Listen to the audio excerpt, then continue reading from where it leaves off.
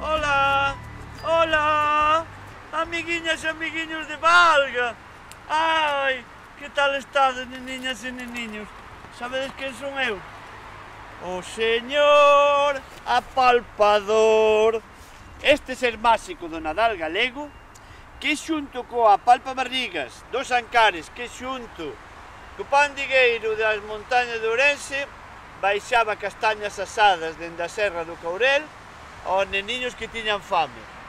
Neniñas e neniños, estou en Valga, fixemos que tesouro tedes aquí, que alboriñas, que regatos.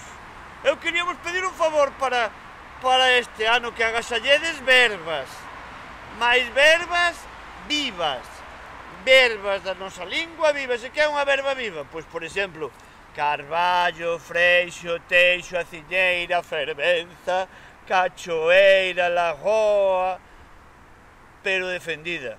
Defendida por vós, coidando dos ríos, plantando nas árbores, non tirando lixo. Eso é agasallar verbas vidas, que é o vosso futuro. E tamén lembrade, eh? poñede unha manciña na vosa barriguinha, cada un na súa. Movede a manciña así e pa estar sanos o apalpador di esta frase tan fermosa.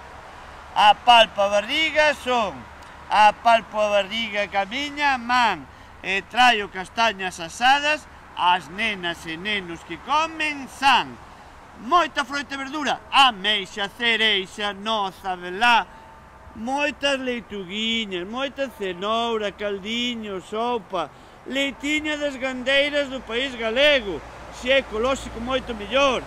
E como non, o apalpador entende, sabe, que os contos alimentan a imaginación. Vou cociñar un conto do Caurel, pero vou no traer para aquí, cara aquí. Escoitadme. En principio éramos nós, as árbores. Despois chegastes vos os humanos. As árbores éramos amieiro, bidueiro, teixo, buxo, loureiro, todo o que tens por aquí. Os humanos eran diversos tamén, grandes, pequenos, fortes, eh, actores de cine, bueno, de todo había por aí. E no principio convivimos. Nós éramos hombre, vos poesía, como, como Rosalía, que vivía preto de acá.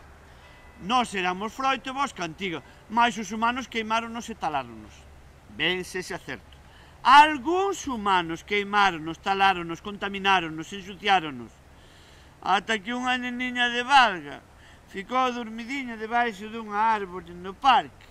A árbore entrou no seu corazón e cando despertou plantouse cando toda a xente de Valga, os dos camiños a Compostela pasaban por aquí, viron aquela nena plantada, decidiron todas e todos plantarse. máis plantarse en contra das guerras, dos insultos, da contaminación, plantarse en contra da violencia de xénero, plantarse en contra do lixo nos montes, nos regatos, plantarse en contra do cambio climático como se todas forades Greta Thunberg. E a ese tempo chamámoslle Esperanza, que é o que vos o que vos desexa, desexamos ao palpador Esperanza. Esperanza máis o seu burriño olor, de madeira de vidueiro. Que fermoso olor. Neniñas, vou vos dar un agasallo de fin de ano, eh? Vou tocar o meu corazón, escoitade, eh? Un peitoque de madeira de teixo, taxus bacata, co que desexovos Feliz Nadal e bo ano novo. E como no Caurel sabedes No Caurel sabes que non temos uvas Para despedir o ano. Nen temos uvas para empezalo. Sabes o que facemos? Abrazar as árbores. Abrazar as... Ai, que arboriñas, que arboriñas, que abra... Ai, que, que fermosa esta aperta. Va Nadal, amigos, vamos co burriño, lor Que teño que chegar aí a cruzar o río Ulla, que sabedes que o río Ulla nacen antes de Ulla. Nas ter... ¡Eh! eh, eh, borrolón, eh, eh, xo, xo, xo. Burriño, burriño, burriño pequeneiro. Enterrouse.